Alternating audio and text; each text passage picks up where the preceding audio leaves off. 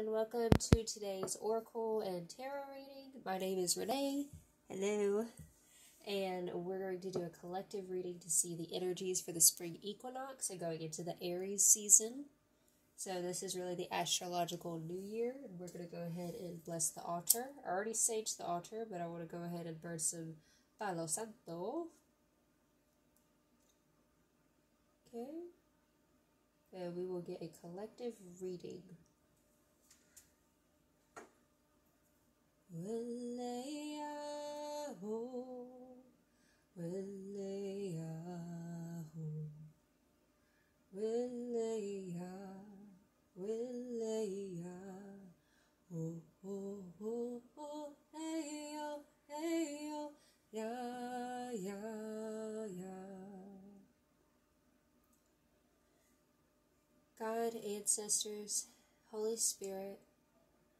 Spirit team, those who are guiding us to the good and the collective truth.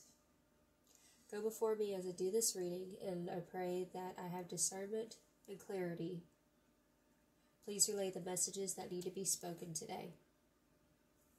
And so it is.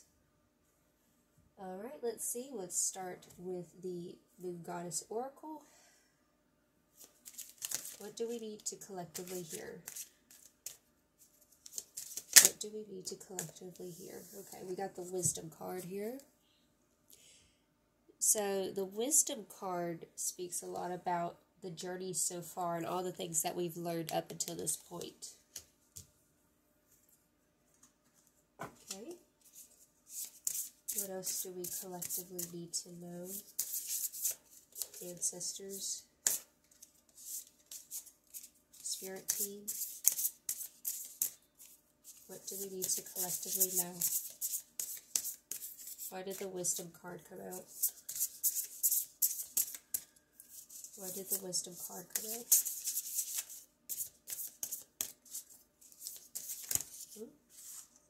Okay.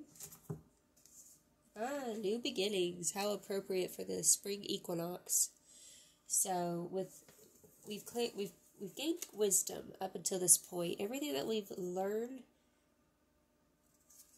we're entering new seasons, new beginnings. Aries is all about the spark of the fire. So, whatever ideas you're wanting to pursue right now is the perfect time to do so. And know that you have the wisdom under your belt to go for what it is that you want to pursue. Okay, and let's go for the Halloween Oracle. Anything that we need to know? Uh, I like to work with the shadow aspect because it helps us to see blind spots that we don't see, shine light on the dark aspects that need to be shown. So what is it that we collectively need to know? Any blind spots? What is it we need to collectively know?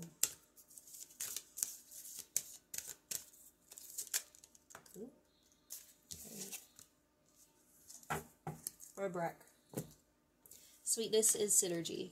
So this card right here really talks about uh, at each slice of this sweet, delicate uh, bar barmbrack. I guess I'm saying that right. It's like a Celtic tradition. Like there's a sweet pea, there's a coin. Like you never know what you're gonna slice it to. So this is being open to uh, new possibilities and expecting the unexpected. So don't hold so much expectation on what you're putting your energies into. Uh, things might not look as they seem. So if you hit a brick wall or if you feel rejected in any way, this is really telling me uh, rejection is God's protection. There's something there that you're not quite seeing. Okay. I feel like I want to get a clarifier for that. Can I get a clarifier? Why did the Van Breck, Barbrack card come out? Ah, the veil of the future. Okay. This goes back to saying things aren't as they seem. The future card, the veil, the future. Uh, the veil is thin. You can see, I'm getting like rose colored glasses. Whenever you go for your new beginning, make sure you're making wise actions. It's about wise actions. You don't want to, because Aries is really all about that, you know, impulsive action, make sure that the actions that you take towards your goals are wise, like not overly impulsive. So yeah, that's the heated message. Don't be overly impulsive. Really think about what it is that you want to go for. Okay, and let's get a card from the Tarot Muse. I love this deck. It is so beautiful. Look at that. It's so pretty. Okay. What else do we need to know with this reading? What does the collective need to know? What does the collective need to know? What is the collective? Oh, here we go. Oh dang, three cards popped out. We got the Two of Emotions, just like the Two of Cups. Oh, the Six of Inspiration, just like the Six of Wands. And the Ace of Materials. Oh, yeah. This is about stepping forth in your newness. Stepping forth in your newness with your ideas. You've this is the time to plant the seeds, which is very appropriate because this is the spring equinox. So plant your seeds because you have the confidence and capability to step out into the spotlight. Okay, and with the two of emotions or two of cups, you want to surround yourself with people who reflect your values. So make sure whatever new beginnings that you're embarking on, make sure that it aligns with your values and that it makes you emotionally fulfilled. And that way, when you're emotionally fulfilled and you can you can have a synergy, and here's synergy right here, between like-minded people. Okay. Now let's pull a card from my classic tarot. I love this design. I got it on Amazon. It's your classic tarot, but just a modern twist on the, on the front. Okay. Let's see. Let's get these on. My tiny little altar over here. We got not a lot of space. Anyways. Now, what do we collectively need to know? What do we collectively need to know? Oh, goodness gracious. This one just kind of flew out of me. Oh, it's two. Oh, uh-huh. interesting. We got two major arcanas. We got the Judgment card right here. And we got the Hangman. So, whenever you're making uh, new beginnings, new decisions, this goes back to not being overly impulsive. Okay, so we are in Aries season. We're having that fiery, oh, I want to get started, starting on, you know, I got ideas and stuff. You want to be the spark of inspiration. But really, really, really make sure it lines up with your values. You want to reassess, make sure you're going forward. Not oh, like yeah, be excited and you know have that fire, that spark under yourself. But you know, like the hangman, he's looking at things from new perspectives, making sure things are lining up. You know, in his uh, with his values. So make sure it's lining up with your values. And with the judgment card, you know, you're going to have a clear judgment on how to move forward. As long as you line up with your values. That's that's what this whole reading is really really saying to me. And also it's like a resurrection too. So feeling resurrection resurrected like spring really is the time of the sun being resurrected. You know, the warmth is back.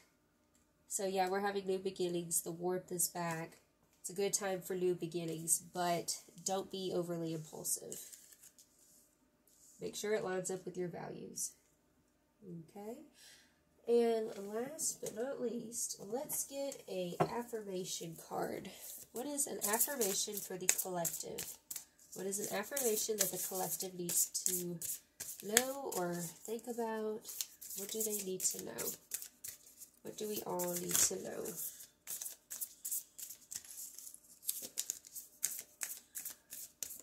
What is an affirmation? Affirmation. This what this was calling. Oneness is my true nature. Oneness is my true nature. So that's bringing your entirety of everything that you've you've learned up until this point, your wisdom, all the lessons that you've learned. We're not fractal, we're one. So oneness is our true nature.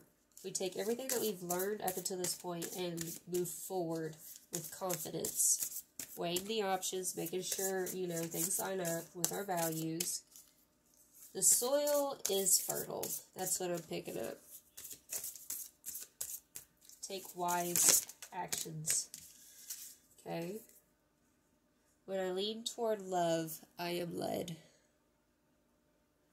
So yeah, this is like with the wisdom card. The wisdom card's really talking to me right now. And oneness is my true nature. And when you lead towards love, you're led. Yeah, don't be led with fear. You know, this is a time of abundance. This isn't a time of lack.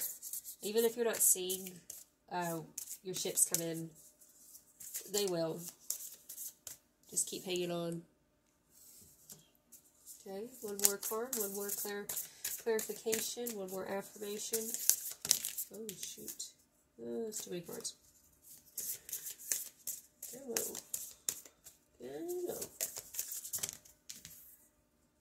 Pick this top one. Joy is the ultimate creator. Yeah, so if there's anything that you want to create and whatnot, focus on joy. Focus on what makes your heart smile.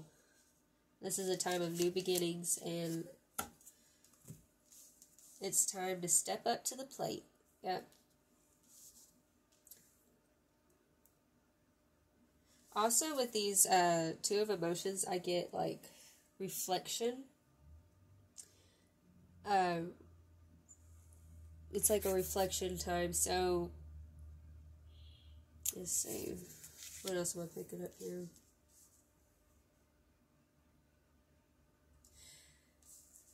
have the confidence to know that you can make the right judgment call. It's time to trust yourself more. That's what I'm picking up on. Trust yourself more, even if the future seems like it's daunting. Even if it feels like you're blindfolded and can't see, there are new beginnings on the horizon. And with the Ace of Materials over here, which is like the Ace of Pentacles, the ideas that you have they will be uh, long term, they will be in alignment with your values. Yeah. So the soil is fertile. Step up to the plate. Expect the unexpected. Don't hold a certain expectation. Like we set our prayers and intentions out there, but don't expect it to turn out a certain way. Like your prayers will be answered, but it won't be in the way that you think it should be answered. Yeah. Okay. Anything else I'm picking up on? Let's see. Nope, I think that's it. Alright, well that was my first video reading. I hope y'all liked that. And uh, y'all have a happy equinox and happy Aries season. And y'all let your sparks fly. Don't be impulsive. But, you know, y'all got this. Much love. Bye bye.